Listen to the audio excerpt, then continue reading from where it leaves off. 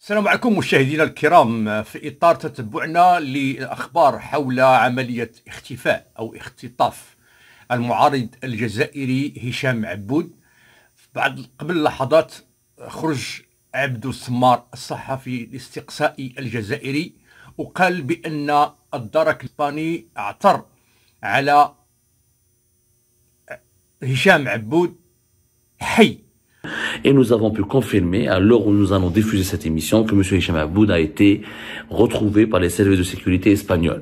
M. Hicham Aboud a été victime, je le confirme officiellement, d'une tentative d'enlèvement à Barcelone. Et c'est la Guardia Civile, la gendarmerie espagnole, qui est intervenue euh, pour le secourir. وكيأكد بأنه ما عندوش بزاف الأخبار ولكن اللي عرفوه على أنه هشام عبود تعرض لعملية اختطاف في إسبانيا وانه تعرض للتعسف وتعرض للتعذيب. والآن راه كيخضع للعلاج الضروري لأنه داز محنة كبيرة في هاد يومين ولا في هاد ثلاث أيام. و كيخضع للعناية المركزة.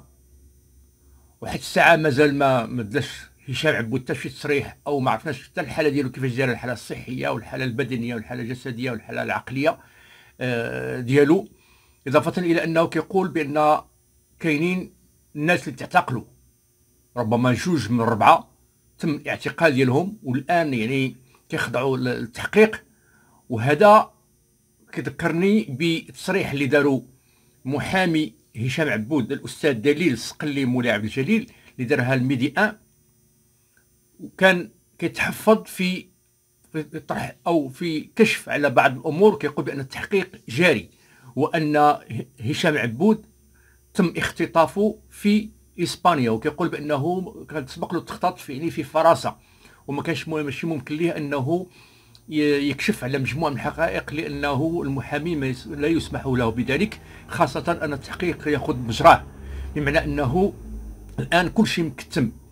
وبالفعل على أن هذه القضية ثارت اهتمام كبير والناس تبعوها خاصة أنه معارض جزائري آه، يكشف على عدة أمور في آه، الجزائر ويعارض النظام الجزائري ويفضح ما يجري في آه، الجزائر سواء من الناحية السياسية من الناحية الحقوقية من الناحية الاجتماعية من عدة نواحي. وهشام عبود هو ضمن مجموعة من المعارضين المتواجدين خارج الوطن واللي كتسعى السلطات الجزائرية على أنها تجيبهم للجزائر سواء من خلال الاعتقال. ولكن ظهر على انهم مسطرة الاعتقال جاتهم صعيبة لأنه آه، هم آه، لاجئين في دول أوروبية. والدول الأوروبية اللي احتضناهم ما اقتنعاش بأنها باش تسلمهم للسلطات الجزائرية وصدرت في حقهم مذكرات ديال البحث المذكره الدوليه ديال البحث. اذا كانت كانت كتبقى في اعتقاد بعض المحللين الطرق آه، ديال المافيا على أنه المخابرات آه، الجزائرية بإعاز وبتوجيه من الجنرالات في الجزائر على أنهم غادي يقدموا على طرق أخرى سواء من ناحية الخطف أو من ناحية الاغتيال أو شيء من هذا القبيل بمعنى أنه يرجعوا لنا لواحد السنين. اللي اعتقدنا على انه آه، تخلصنا منها أو على الاقل تخلصوا منها الجزائريين. فالشيء اللي وقع اليوم انه نهار الخميس اختفى آه، هشام عبود في اسبانيا. هو جاي هو مقيم في فرنسا ومشى يعني يركب من بلجيكا وتوجه لإسبانيا لبرشلونة. ونزل في برشلونة نزلوا في المطار اتصل بالزوجة ديالو. كيخبرها على أنه وصل بالسلامة وأنه في إسبانيا. موراها انقطعت الأخبار.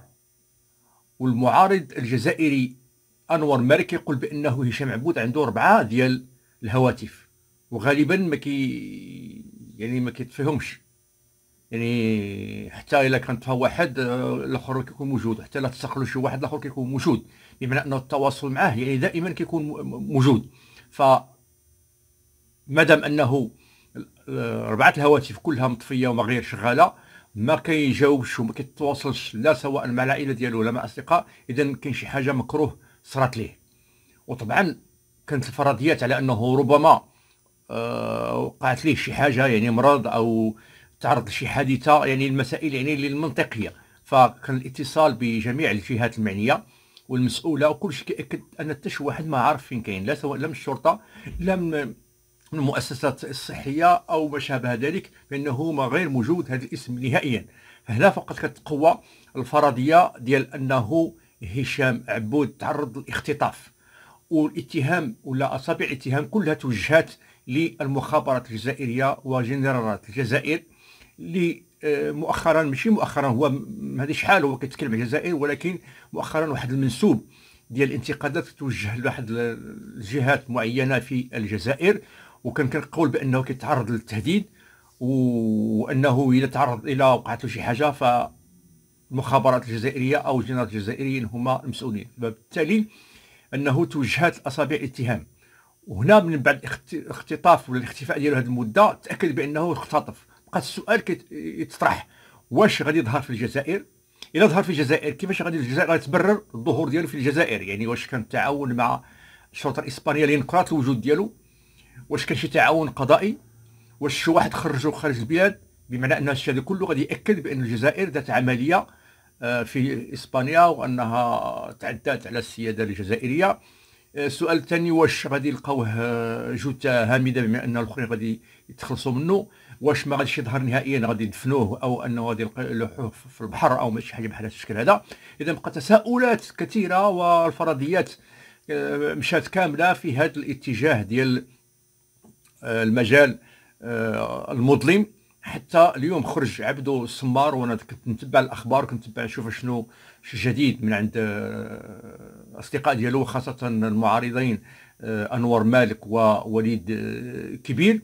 فما كان حتى شي حاجة ولكن درك شوية لقينا عبدو السمار كيتكلم هذه القضية وكيأكد بأنه راه تم العثور على المعارض الجزائري هشام عبود وراه حي ولكن تعرض يعني لتعسف أو اعتداء أو يعني آه، أمور للتعذيب مثلا بصفة عامة آه، وراه موجود يعني تحت العناية يعني لابد أن تعالج وما عرفتش الحالة ديالو ما عندوش كيقول ما عندوش الصور ما عندوش كذا وما كاينش حتى شي حاجة يعني اللي كتأكد بلي بالفعل هذوك هما اللي متهمين أو أنه يعني كيبقى غير اتهامات.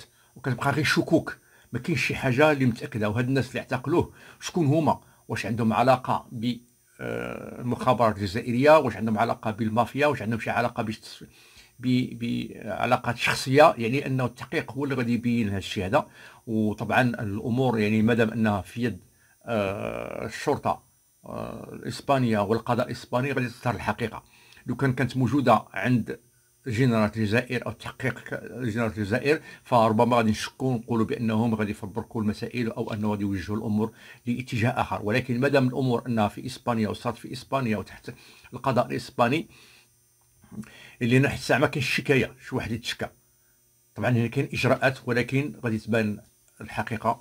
ونقولوا الحمد لله على سلامته على أنه راه حي ونتمناو أنه يسترجع الصحة ديالو والعافية ديالو وأكيد أننا غادي نسمعوا من عنده مجموعة ديال الأمور اللي غادي يحكيها لنا في هذا الوقت اللي اختفى فيه واللي تعرض فيه للاختطاف.